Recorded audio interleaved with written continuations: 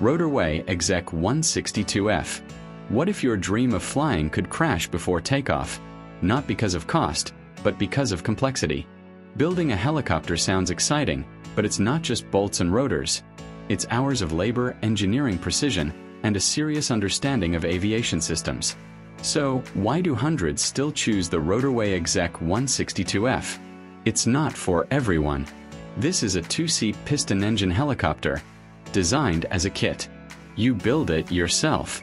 Yes, that's a huge responsibility, but it also means full control over your machine, your costs, and your flying future.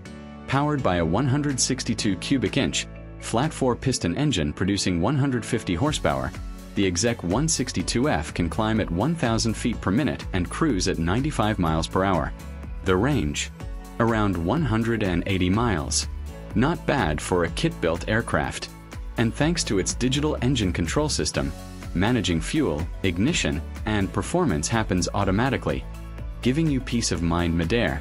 We're talking about a helicopter with a maximum takeoff weight of 1,500 pounds, carrying two people comfortably, and offering features like removable cabin doors, a streamlined tail fin for better stability, and proven auto-rotation capabilities in emergencies. Of course, it has limits.